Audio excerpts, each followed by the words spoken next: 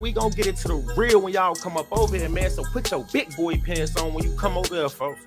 For real. Put your big boy pants on and we gonna get it to it straight like that, folks. But definitely hit that like button for the boy if you here for a good time, not a long time.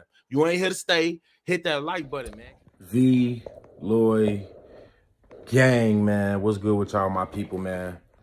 I'm I'm here and and again, I know I know the lifestyle that he lived. I know the lifestyle that he lived Uh, we ain't we ain't condoning none of that. We ain't condoning it from from him. We ain't condoning it from nobody else, man. We supposed to love each other, and clearly the world ain't glorifying that. That's not what they showing, man. So some of the things that I'm gonna say right now to make it seem as though like I'm being biased towards Von. In reality, it's just for the love that I got for Von, I got for everybody, not just for my side, for both sides, man. And I got a message from I, I can't speak too in depth as to who the message is coming from because people want their safety uh, at the end of the day. Not everybody um, will speak out, you know, and I'm not trying to show throw any shade, but not everybody willing to put their life on the line for truth or to put other people's truth out. So, you know, uh, a lot might need to be said in this time, man. So again, put y'all big boy pants on, V Lloyd gang, value Christ over your life gang we here today, man. What's good with y'all? Um, yeah. First off, I, I want to get back into how these these rappers, the the, the death of a rapper, it, it won't stick like like the death of someone that you that is in your family member unless you know them, man. And that's why my pain and my passion is not only fueled by Von's death, but you know, this is kind of the was the tipping point in getting me to come out here, uh, putting my voice out here and letting people know what's truly going on behind the scene because these things you can't even you can't see these things through the uh, flesh man. You have to be spiritually um enriched and to be able to understand the warfare. It, it takes a not only that it, it takes a lot. You gotta uh Make yourself comfortable being uncomfortable because a lot of the information that you will put yourself, will that you will welcome into yourself, it ain't familiar to your conscience. It ain't what they've been teaching us this whole entire um, time. It ain't what uh, we should uh, understand. We only understand what the world wants us to understand, man. And um, let me pause this. Not pause, but I'm skipping it. But yeah, man. So it, it can get very, very hard for us to to to really look and be mindful of situations the way that we are supposed to because there's a lot of things going into our uh, deceit and not only our deceit but desensitizing us to the situations man but I, when you look at Von's situation man again do it look like something that was just happen organically or do it look like something that was pre-planned?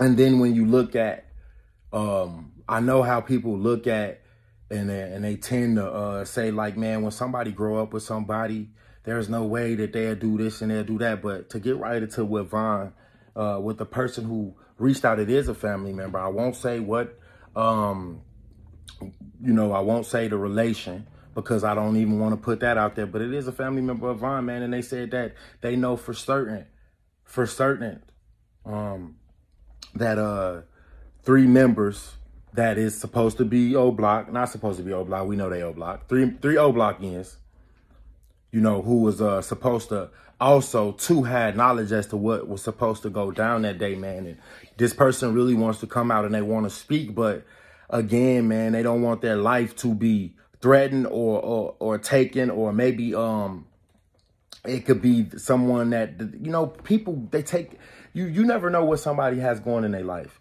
You somebody might be taking care of somebody else and they don't want to leave them out to the world because they know how the world will swallow you whole if you ain't got a, a strong person to guide you in all your ways of your understanding. So man, I don't, I don't, I don't know what to say. I wish that this person would come out because it would be more powerful for y'all to hear it from them than to hear it through me. But yeah, man, they said it's uh, a lot of things that is happening that I had said, a lot of things that I have said to clear that up was true. So it's kind of telling y'all something without telling y'all something, man. Look, at those who are, are, are being shot up like a rocket right now, man, and understand what Illuminati, what they do to people who are like us, and and and, our whole our whole wanting to rap and and um be seen is to uh for the materialistic things, but once you get that little bit of fame, you get those eyes looking upon you, it becomes uh, um, something that you need because you you feel like uh, this is, is empowering you and fame can empower you. Fame and money empowers us. And sometimes fame and money for, for some people, not for some, but for a lot, it's, it has to, I think there is divine reasoning why the Most High said what He said about the eyes of a rich man getting into a, uh, uh, getting into heaven. Heaven, a, a, camel have a um a better chance at walking through the eye of a needle. Forgive me for my speech, but you, get where I'm going with it, and I think it has a lot to do with uh, uh, the things that people would do to keep the money once they have it. The things that people do when with the power that they have, that the money have built them up, because you can pay uh, uh, to not be seen. Like we can see in the Lil Durk trial and the whatnot, um, he was there and uh, things like that. But all of a sudden, uh, he gets his case whole swipe clean, and then they say that Von would have been the one who uh, would have been arrested. It's just a lot of uh, things that money can't buy you. It's a lot of things that power, because uh, really, it's the power. But when you can build the money, it's also, you know, in small areas, it can get you with uh, the power. You know, power can get you the same. But yeah, that's just a whole nother story. I ain't really trying to go off into that, man. But yeah, he wanted, um, the person wanted me to come out here and they wanted me to just talk about this and put this out here. And I wish that I could say their name, but they don't want these people out here steady living um, off of uh, what they have done to Von, man. They know they words from them, and and I feel his way too but they know that it was a sacrifice not only for uh for for for Von's soul, but for these people to move up in the rankings. And the thing is, man, Satan, he will do the same thing that he done to to Von to them, and that's what we need to wake up, understand, and um, and then and that's crazy because he, I'm steady saying that he, so obviously y'all probably know it's a he, but yeah, man, um, that is another message that they wanted me to say that y'all who are a part of whatever went down that if y'all got this from Satan and only y'all would know, then if he did it to Von, what y'all think that they would do to y'all, man, when y'all time is up? It's all about understanding that, man, if somebody would do it to somebody you love and they don't really know you, why? what makes you think they won't do it to you once they are done with you, man? And that's really what they do to most of us, man. And that's why you see the stories come out after they are gone or, you know, when they are, um, when they won't comply, then they use the stories that they already know. Most of these things that they just keep for leverage to get, to gain, um, more control, to put you in fear, to, to, uh, uh, make you do. And, and that's really just what it is, man. But value Christ over your life game, man. I hope that, um, y'all stay in prayers out here, man. Stay in prayers and, and stay rooted in truth, man, because it's hard.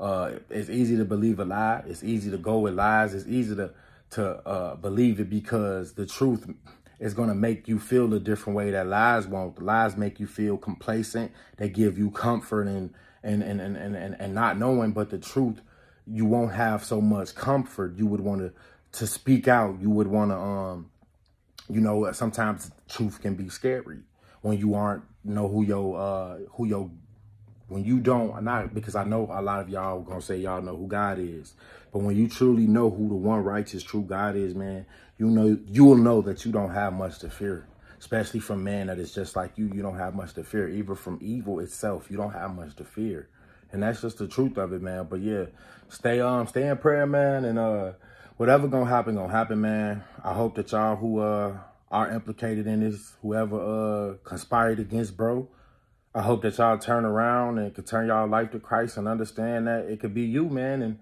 you do not want to die living in um, the sin in which that y'all have uh, committed and, you know, not repent and turn away from it and ask the Most High for forgiveness, man. But yeah, it's long enough, man. Love y'all, man. Rest in peace to Von, man. It's sad that this is, uh, it's, it's, it's been a year since he passed, man. It's sad. Or not a year, what, two years? I can't even remember no more. Because, like, so much be happening in such a short time, man. But yeah, man. Um, rest in peace to my boy, man. And y'all stay cool out there.